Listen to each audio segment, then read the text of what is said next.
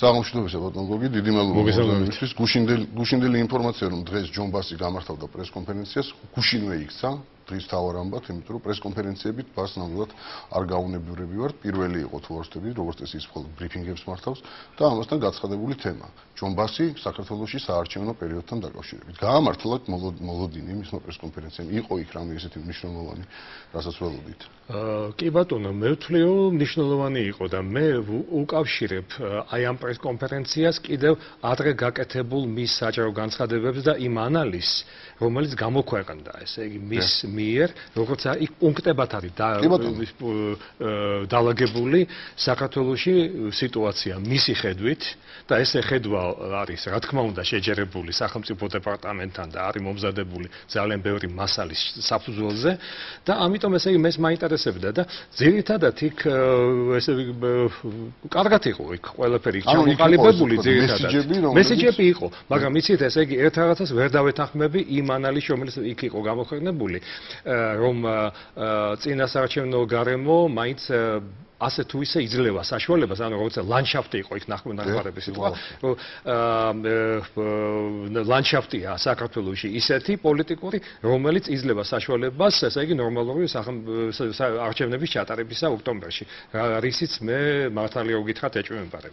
თუმცა თუ ამ თემას განვორცოთ, იყო კითხვა მაგალითად იმ ხელშეერთულ ბრძოლაზე რომელიც მერიტში გამართა და კი ბატონო ჯომასის მაგრამ აი ეს პრესკონფერენცია იყო მნიშვნელოვანი იმიტომ რომ ნუ აქ კიდევ ერთხელ ხაზი გაუსვა ელჩმა იმას რომ ამერიკის შეერთებული შტატები პიროვნებას და პარტიას არ უჭერს მხარს მხარს უჭერს სახელმწიფოს და აი ამ სახელმწიფოში ხალხი რა არჩევანსაც გააკეთებს, ამ არჩევანს მხარს უჭერს. ეს მნიშვნელოვანი განცხადებაა თუ ეს რიგითი ეს მნიშვნელოვანი განცხადებაა დიპლომატია. უნდა შეგვეძლოს რომ ამოვიკითხოთ ესე იგი დიპლომატიური მესიჯები იმ შემთხვევაში, როდესაც ასე სწორხაზოვნად ვერ იქნება ჩამოყალიბებული და თქვენი ინტერპრეტაცია. აი ჩემი ინტერპრეტაცია ასეთია, რომ აა ჩვენ მხარს უჭერთ ქვეყნის არჩევანს, ქვეყნის არჩევანი ნიშნავს ხალხის არჩევანს და ხალხს უნდა მიეცეს საშუალება თავისუფალი არჩევნების ჩატარების. არისო თავისუფალი არჩევნების შესაძლებლობა არსებობს. ამაში უკვე აღარ ეთანხმებით. ამაში უკვე ეხლა რა არის? მე ამაში სხვა რამეს ვხედავ და ესე ბერჯერ ესე დიპლომატებს მაგალითად უთქვიათ ეს არაფორმალურად უფრო გულახდილები არიან და უთქვიათ რომ აა ხალხის არჩევანი ნიშნავს იმას, რომ ხალხმა უნდა გამოხატოს თავისი პრეფერენცია და თავის დამოკიდებულება. თუ ხალხი საზოგადოება ჩამოყალიბებულია და ამ ჩამოყალიბებულ თავის პოზიციას იცავს და ამას აკეთებს ღიად, საჯაროდ, მაშინ ეს მოქმედებს იმ შეფასებებზე, რომელიც კეთდება ამერიკაში და ევროპაში იმის შესახებ, თუ რა მდგომარეობა საქართველოს. რას ნიშნავს ხალხმა უნდა გამოხატოს? ანუ ეს იმას ნიშნავს, რომ თუ ადამიანი მაგალითად აი არჩევნებამდე ვთქვათ, ისეთ მდგომარეობაშია, რომ ურჩევნია არ გამოხატოს თავისი დამოკიდებულება, ურჩევნია არ არ გამოხატოს თავისი არჩევანი და არჩევანი მხოლოდ ანონიმურად იმ დღეს დააფიქსიროს, უფრო მეტია შესაძლებლობა არჩევნების გაყალბების. სხვა თავისთავად სხვა. და მე ამის გაპროტესტება ძალიან ძნელია იმ შემთხვევაშიც კი თუ ამის რაღაცა საფუძველი. შეგვიძლია ჩავთვალოთ თუ არა რომ ის აქციები რომელიც ბოლო პერიოდში იმართება არის ხალხის ნების გამოხატვა. რა თქმა უნდა და ამას აქვს ძალიან დიდი მნიშვნელობა რომ ხალხმა არჩევნებამდე მრავალნაირად მრავალჯერ გამოხატოს თავისი დამოკიდებულება იმისათვის რომ უკვე შეიქმნას გარკვეული პირობები, შეიქმნას გარკვეული უკვე სურათი რომლის საფუძველზე უკვე დასავლეთს შეექმნება შტაბ-ჭრილება და უკვე უკვე სურათი შეექმნება იმისა, რა ხდება ქვეყანაში. ხადი ამერიკა უშუალოდ ვერ ჩაერევა საქართველოსი და საქმეებში. ამაზე ორი აზრი არ არის. ისინი მხარს უჭერენ როგორც თვითონ ჯონ ბასმა თქვა, არა პიროვნებებს, არამედ ხალხს, საქართველოს მოსახლეობას და უჭერენ მხარს მათ არჩევას. თუმცა მოდით, აი, როდესაც საუბარი არის იმ აქციებზე, რომელიც ახლა იმართება, თქვა, ოპოზიციის მხრიდან. მაგალითად, იყო ინციდენტი, როდესაც თქვა მერევში მოხდა შეხლა შემოხლა. დღეს შეუშალეს ასევე ხელი ისევ ქართლში ჩატარებაში შეიკრიბა ისევ. ადამიანები მათ ცნობენ სახეზე ეს არის ძირითადად სახელმწიფო ჩინოვნიკები. არც თუ მაღალი რანგის მაგრამ საქართველოს პატარა ქვეყანა ყველა ერთმანეთს სახეზე ცნობს. ამ კითხვაზე ჯონ ბასი ამბობს რომ საქართველოსში ძალიან რთულია ფაქტების და მოსაზრებების ერთმანეთისგან გარჩევა და ეს ადრეც თქვა მან ატლანტიკის საბჭოში გამოსვლისას, ხო? რას ნიშნავს ეს ფრაზა საქართველოს რა რა რა არ არის ფაქტი ამ შემთხვევაში, როდესაც უყურებ როგორი ცემა თხება? რა მოსაზრება? სად არის აქ მოსაზრება? ხო, ну აქ ესე აქ არის გარკვეული თავის დაღწევა, რაღაცა მტკივნეული შეკითხვის გარკვეული მგონი. როდესაც უნდა რაღაც ისეთ რამე თქვას, რასაც მე რაღაცა მოყვება, რაღაც ძალიან რთული გარჩევები და თქვათ ესე რაღაც თქვათ ну ურთიერთობების გართულება. მას ისეთაც აქვს გართულებული ახლა მდგომარეობა იმის გამო რომ ის დონე კრიტიკისა რომელიც არის მაინც მის სიტყვებში და მის გამოსვლებში და მის შეფასებებში ისიც კი მიუღებელია თulit რომ არის მაინც კრიტიკის ხარის ისიც კი მიუღებელია. თუმცა თქვა იგივე რაც თქვენ მზანით ხელისუფლება ამას აუცილებლად გამოიყენებს რომ არის საქართველოსი ლანდშაფტი რომელიც იძლევა საშუალებას ვივარაუდოთ რომ არჩევნები ჩატარდება კონკურენტულ გარემოში არის ეს კრიტიკაა? ეს ეს კრიტიკა არ არის, მაგრამ აქ კიდევ რაღაც სხვა მომენტებია, აი რომ მომენტებსაც თქვათ ახლა ხელისუფლება ღებულობს როგორც ნუ გადახვევას იმ ხაზისა, რომელიც მათ თვლიდან რომ ესე იგი უნდა იყოს შეთანხმებული ამერიკის საელჩოს. კარგი, კერძოდ რა არის ესეთი? ეს ეს რომ აი ის რომ ამერიკის მხარდაჭერა უნდა იკითხებოდეს და ითარგმნებოდეს როგორც ხელისუფლების მხარდაჭერა. ამას უნდა რომ მიაღწიონ ამას. მაგრამ ამერიკა ესე იგი ამას ყველანაირად ცდილობს რომ გაუწიოს წინამდე. იყო კი ჩვენს ურთიერთობებში ეტაპი, როდესაც ამერიკა პირდაპირ ამბობდა რომ ხარს უჭერ არჩევნების წინ გულისხმობ. არჩევნების წინ რომ გამოსულიყო და ეთქვა მე ხარს უჭერ ნაციონალურ მოძრაობას. ესეთი ეტაპი არსებობს არ ყოფილა. იყო რა თქმა უნდა ძალიან ესე უპირობო მხარდაჭერა ბუშის ადმინისტრაციის მხრიდან იმ პერიოდში განსაკუთრებით 2008 წლის აგვისტომდე მაგრამ მე ესე იგი არ მახსოვს ის რომ მართლა ესე როდისმე ამერიკას ეთქვას რომ ჩვენ თქვათ ესე კონკრეტულ პარტიას კონკრეტულ ესე პიროვნებას მხარს უჭერთ. მაგრამ წინასაარჩევნო თუ არ ითქვა და სხვა დროს ითქვა ესეც სხვათა შორის მოქმედებდა არჩევნების დროს ამიტომ სხვა დროს ხო იქ თქმულა ესეთი ხო და ამიტომ ხო მაშინ როდესაც აი სხვათა შორის ევროპის უდიდესი ყველაზე ძლიერი პარტიის აი სახალხო პარტიის ხელმძღვანელი პირდაპირ დადგა ესე იგი პრეზიდენტის გვერდით და თქვა რომ მე მას დაუჭერ მხარს არჩევნების დროს. ეს იყო პირდაპირ მხარდაჭერა უკვე რომელიც თქვა ესე იგი არ უნდა მივიღოთ. ისე რომ ესე უკრიტიკოთ ღებულობს ყველაფერს ევროპის კავშირი მაგრამ ეს იყო ნათქვამი. ამას ამერიკა არ აკეთებს. კარგი ის რომ ჯონ ჯონბასის დღევანდელ იმ თემებს დაუბრუნდეთ, რაც დღეს ჯონბასმა ისაუბრა, რაზეც მას კითხეს, მასტკერის პრინციპზე იყო საუბარი. მასტკერი ჩვენთვის არის ძალიან სისხლხორცოვანი. რა თქმა უნდა, ეს არის ძალიან მნიშვნელოვანი და შესაბამისად ჩვენთვის მნიშვნელოვანია, რას ფიქრობს ამაზე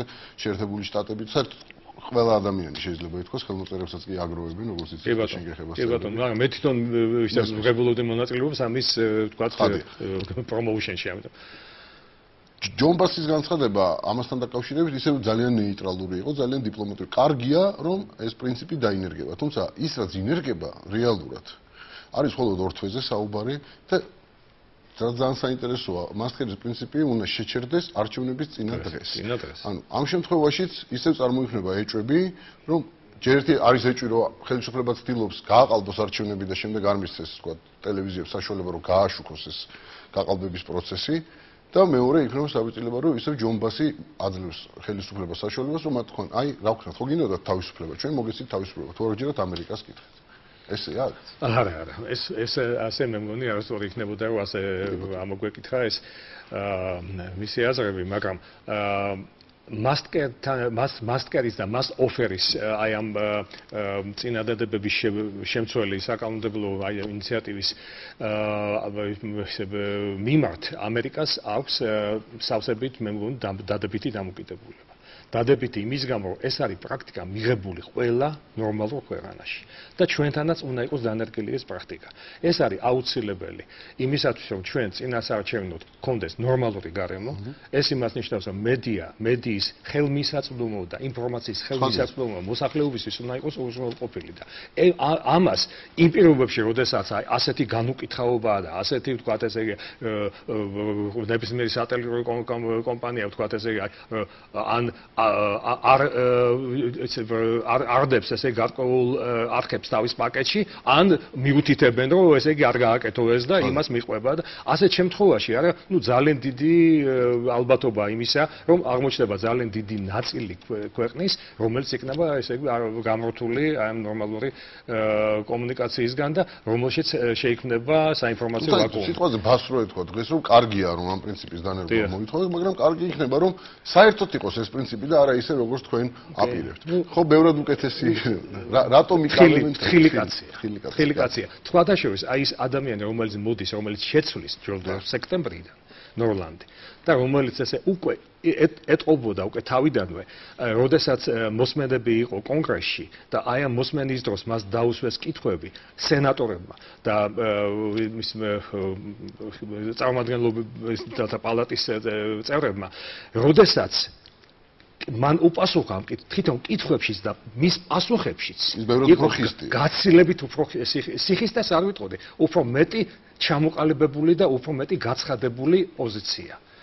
და ეს პოზიცია მე მგონი მას ესე იგი აი უკვე წარმოგვიჩენს ამ პიროვნებას როგორც ესე იგი ძალიან აა როგორც ჩანს უკვე კარგად ჩახედავს ჩვენს სიტუაციაში და პიროვნებ როგორც პიროვნებას რომელიც არ აპირებს რომ გაჩერდეს რაღაცას ნახევარ გზაზე და ნახევარ ზომებით ვთქვათ ვთქვათ დაკმაყოფილდეს. ნაკლებად დიპლომატიური დიპლომატია. ნაკლებად დიპლომატია და მე მგონი ესე ისწორად ეს ჭირდება საქართველოს რომ დიპლომატია უნდა იყოს ნაკლებად დიპლომატიური იმისათვის რომ ხალხს მაინც ესე იგი რაღაცა მესიჯი რომელიც ვთქვათ, სხვა ქვეყნისთვის აი ამ ენაზე ჩამოყალიბებული შეიძლება საკმარისად მოეჩვენოს, ჩვენთან არ არის საკმარისი. და ჩვენთან ჩვენი გარემოს და ჩვენი სიტუაციის, ჩვენი მენტალიტეტის გათვალისწინება აუცილებელია. მე ვთვლი და დასავლეთის დიპლომატიური სამსახურებისთვისაც. მე ვფიქრობ, რომ მაინც ხალხი გარკვეულწილად მართალია თქვენ ძაინთ რომ ხალხმა უნდა აჩვენოს ამერიკას მათ იმ მზადყოფნა თქო რაღაცა ცვლილება უნდა მაგრამ მათაც უნდა ხალხი რაღაცას ელოდება იმ მოლოდინიც არის ჩვენთან როგორც მე თქვი თქო დასაწყისში. მაინც გაჩნდა იმის მოლოდინი რომ ის ყველაფერი რაც აქ ხდება ჩვენზე იმდენად არ არის დამოკიდებული რამდენადაც იმ დიდ მოთამაშეებზე რომლებიც რეგიონში თქო ცდილობენ თავიანთი გავლენის სფეროების დამყარებას თუ შეიძლება ესე ითქვას. ეს ესეა, მაინც თუ არ არის ესე და ასეა, ასეა და რა თქმა უნდა, ჩვენს ესე იგი ჩვენი ორიენტაცია, ჩვენი ქვეყნისა ნიშნავს იმას, რომ ჩვენ დასავლეთის გავლენის სფეროში ვართ და აი ამ გავლენის გამტარებლებიც ვართ, ესე იგი რეგიონში. და ეს არ არის ცუდი, ეს კარგია. შესაძლოა დროზე უნდა მივიჩოთ დასო დასავლეთ მაგრამ ამავე დროს ამავე დროს ესე იგი ჩვენ უნდა მივაქციოთ იმას რომ ჩვენი ხმაც იყოს უფრო გაგებული დასავლეთში და ამავე დროს ესე დასავლეთის ვთქვათ პოზიცია იყოს ჩვენს მიმართ უფრო ჩამოყალიბებული როდესაც მე ახლა ვადარებ აი სიტუაციას, აი რომელიც თქვა ესე იქნება სხვადასხვა თქვა აი ევროკავშირის წევრობის კანდიდატ ქვეყნებში, ნატოს წევრობის კანდიდატ ქვეყნებში, მაგალითად, იქ მაგალითად იმისაც რომ შიდა სიტუაცია დალაგდეს, ძალიან მკაფიო მესეჯებია ხოლმე დასავლეთის მხრიდან. ასევე უნდა იყოს აქაც. და ამას უნდა მივახციოთ. ძალიან დიდი მადლობა პოლიტოლოგი გოგი ხუთშვილი იყო ჩვენი სტუმარი